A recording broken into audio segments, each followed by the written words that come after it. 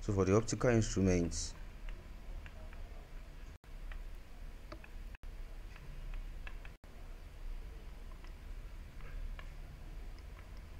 We're going to start with the simple microscope.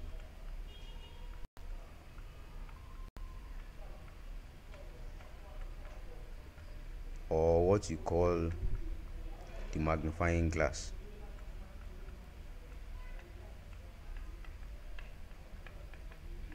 the magnifying glass.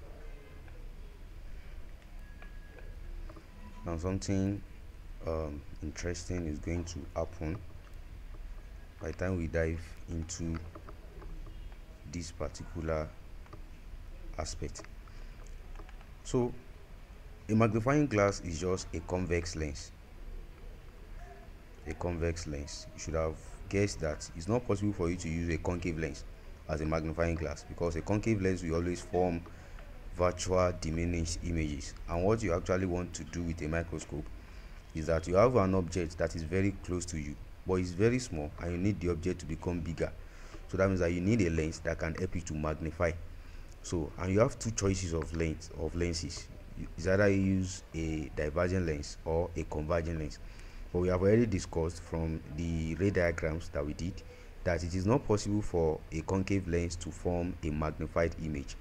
So that means that we are going to be using a convex lens as a what? As a magnifying glass.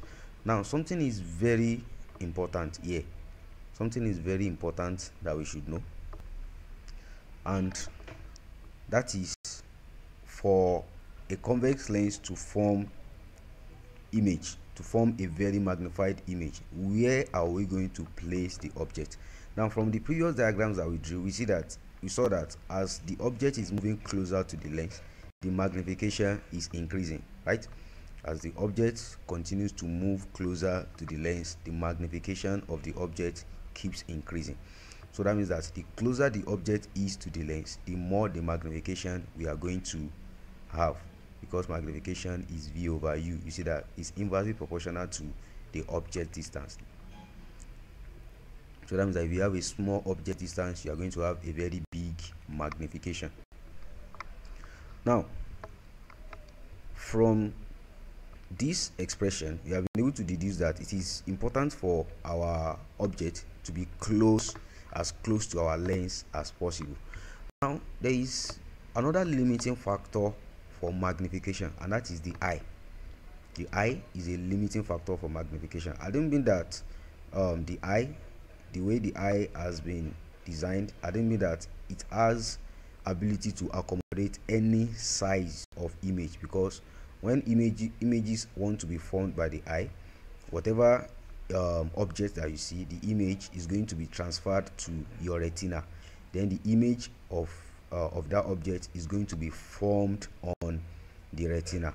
Now as the object is getting closer to you that means that the image that is formed on the retina on the retina is going to be becoming bigger. And as we have said that the retina has a fixed size. So that means that if the object gets closer to you than a particular distance you will no longer be able to see the object clearly. Now that distance that the object must be from you in order to see still see it very clearly is what you call the um, distance of uh, least distinct vision. But they usually call it the near point if you want to shorten it. We are going to call it the near point. So that's the closest any object can get to you for you to still see it very clearly. So once it gets to the near point the image will still be clear but once it goes beyond the near point once it gets closer than the near point the near point of a normal human being is 25 centimeter. For the normal eye is 25 centimeter. So that means that once the object gets closer than this distance you will no longer be able to see the object very clearly. So which means that there is a limit to the magnification that you can have because magnification does not make sense. If the image is big but it is blur so you still need image to be big but you can still see it very clearly. So that's what is going to now bring us to the concept of um, what do I call it? that's what's going to bring us to the concept of what we discussed in the previous videos. We said we have two type of magnification. Either it is linear or it is angular so this was going to bring us to the concept of angular magnification because angular magnification is very important when we are dealing with um, optical instruments. So it's important for us to know about angular magnification for optical instruments. Now how do you get angular magnification? Now the angular magnification of um, a body is just the angle subtended by the body when you use an instrument the ratio of that to the ratio of the angle subtended by that body at the eye when you don't use any um, instrument to view the object. That's what we call what? The angular magnification of the object. For example let's say this is the eye. This is the retina. Then we can draw we can also draw the optical center for the eye. So let's say this is our object now the object is going to subtend a particular angle at the eye right? So let's say this is the angle the object subtends at the eye. When you are not using any um, apparatus to view it. Now if the object comes closer let's say the object comes to this particular point if you look at that angle that angle is going to change. It's going to become bigger. Look at that. Compare this small angle to this bigger angle. So the angle has gotten bigger. So that means that as the object is coming close to you you are going to view that the object is becoming bigger. That's because the angle that the object also sustained at the eye is also getting bigger. So that's those are two ways of viewing the magnification. This is just a normal occurrence that when you look at an object that is very far away it's going to be small right but when you get closer to the object the object is going to gradually become bigger and bigger. So that's exactly what is going on in this particular diagram. So that means that as the object gets closer to you it's going to become bigger because the angle it is subtending is also becoming bigger. So how are we now going to get the value of alpha and beta? This is actually a formula that i'm supposed to just write directly but it's important for us to also know how um, we arrived at this particular formula. So we just said it that the closest an object can get to you is what? Is the distance of um, near point which is the distance of the least distinct vision.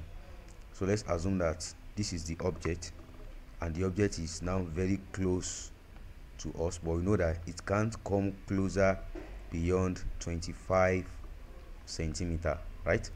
So and this is what? The height of the object.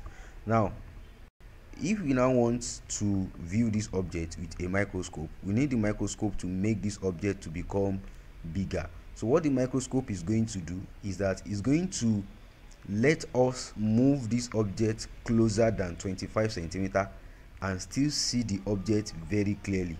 That means that we are still going to see um, the object as a bigger object and it's still going to be what? Very clear. So let's assume that this is the eye and this is our microscope. Now let's say this is the object. Now we know that let's assume that this is where the focal length of the microscope is. That's focal length of this microscope. Now we know that since the object is inside the focus of our lens it's going to form a virtual image behind the object right? This is what we have discussed from formation of ray um, when we are drawing ray diagrams. So that means that the object is going to be somewhere around here which is behind the image is going to be somewhere around here which is behind the actual object. As you can see that it has become what? It has become bigger. So now this object has gotten closer to us. That means that it is now having a new distance so this is the distance of the object. But the height of the object still remains the same right? Because it's still the same object. Even though the image it forms is now a very big image. But we are now talking with respect to the object not with respect to the image. Now if we want to get the angular magnification which is alpha here we can do the tangent of our angle alpha tan alpha that's going to be opposite divided by adjacent. So this will be divided by 25 and we can do the same thing here. So it's going to sustain a new angle for this particular one. There's going to be a new angle that is subtended this beta. So here we are going to say tan beta is opposite over adjacent. So height of object over distance of object right? Now if this angle extremely small. This is an approximation that we used to make that if our angle is small i will measure it in radian. The tan of an angle is going to be approximately equal to the angle itself. If the angle is small and the angle is in radian. So that means that the angular magnification instead of writing it as beta over alpha you can now write it as tan beta divided by tan alpha. Now we have a value for tan beta tan beta is what? The height of objects divided by distance of object then divided by the height of objects over 25 which is the distance of near points. Now this is going to become height of object divided by distance of object times 25 divided by height of object. What do you notice? You notice that these two guys cancel out. So that means that we have a formula as 25 over distance of object. Now this is what? How we get the magnification of a simple microscope. Because it allows us to bring objects closer than what they're supposed to be. You know that if the object is closer than 25 centimeter you will no longer see the object. You will no longer see the object. But you still need the object to get closer so that it's going to sustain a bigger angle.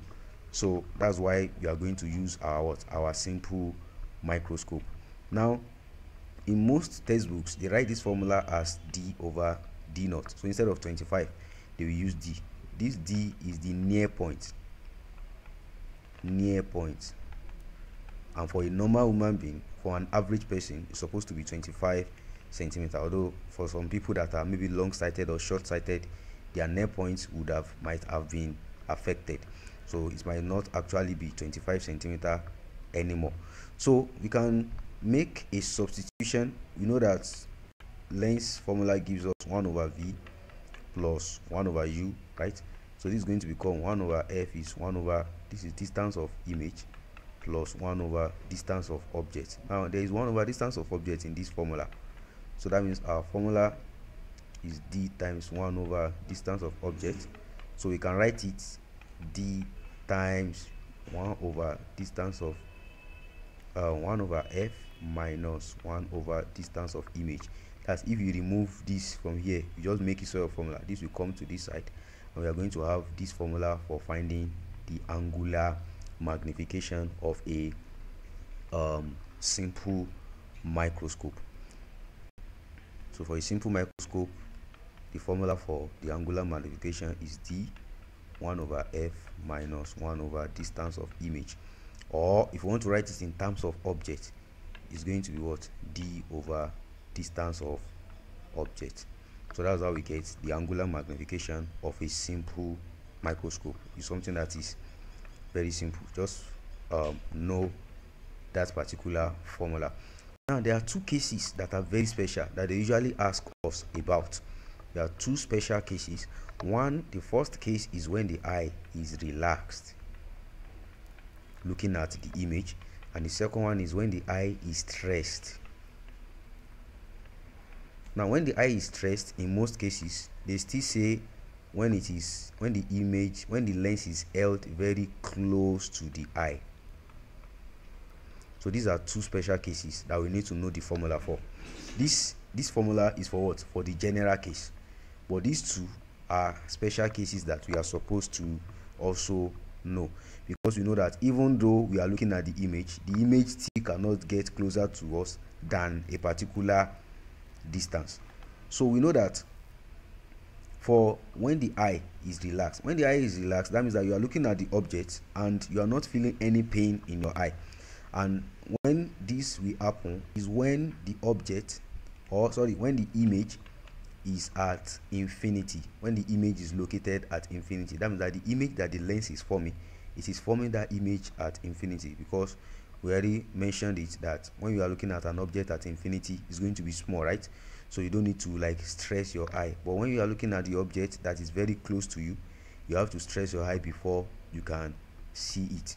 So when the distance of the image is infinity this is when the object when the eye is relaxed so what's going to happen? So magnification will become d 1 over f minus 1 over infinity. So it will now become d over f.